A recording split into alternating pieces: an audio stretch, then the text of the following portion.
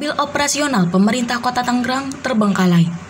Puluhan mobil operasional aset pemerintahan Kota Tangerang, Banten terbengkalai tak terawat di belakang kantor dinas perhubungan dengan kondisi sudah sangat memprihatinkan, di mana sebagian mobil sudah dalam kondisi rusak terdampak cuaca serta tidak lagi dilengkapi plat nomor polisi. Komisi 1 Dewan Perwakilan Rakyat Daerah Kota Tangerang menilai pemerintah Kota Tangerang telah gagal dalam mengelola asetnya dan harus ada terobosan untuk memudahkan pendataan serta pengawasan. Seperti inilah kondisi kuburan mobil operasional aset pemerintah Kota Tangerang, Banten yang sudah tidak terpakai namun dibiarkan terbengkalai tanpa perawatan di belakang kantor Dinas Perhubungan pada Rabu siang. Total ada 36 unit mobil jenis sedan, minibus, maupun bak terbuka yang berasal dari sejumlah dinas perangkat daerah, serta mobil dinas anggota Dewan Perwakilan Rakyat daerah setempat. Kondisinya cukup memprihatinkan, di mana banyak bagian mobil yang telah rusak karena faktor cuaca dan ditumbuhi rerumputan ilalang sehingga sudah tidak lengkap seperti sedia kala,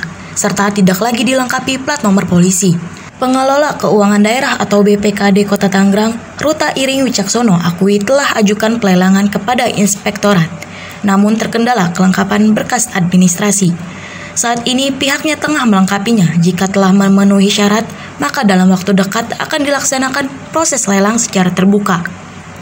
Sementara anggota Komisi 1 Dewan Perwakilan Rakyat Daerah Kota Tangerang, Andri S. Permana menilai pemerintah Kota Tangerang gagal dalam mengelola aset yang akhirnya terbengkalai. Pemerintah daerah diminta menggunakan digitalisasi dengan membuat aplikasi khusus yang mendata dan mengelola seluruh aset, sehingga memudahkan saat hendak lelang tanpa harus terbengkalai.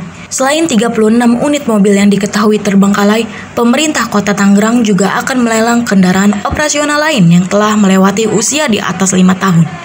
Tangerang News melaporkan. Yang terkait dengan mobil kendaraan operasional yang ada di belakang kantor dinas perhubungan itu bisa kami jelaskan bahwa memang uh, saat ini itu dalam proses uh, lelang gitu ya kemarin sebelum uh, proses lelang kita mulai itu dicek kembali oleh inspektorat dan Eh, menurut inspektorat kita masih perlu ada pemberkasan yang kita lengkapi. Sekarang kita dalam proses pelengkapan eh, berkas untuk kemudian segera kita lelang.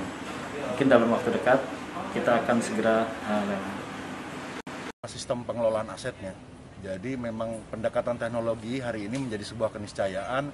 Pemerintah Kota Tangerang harus punya aplikasi, harus Tahan.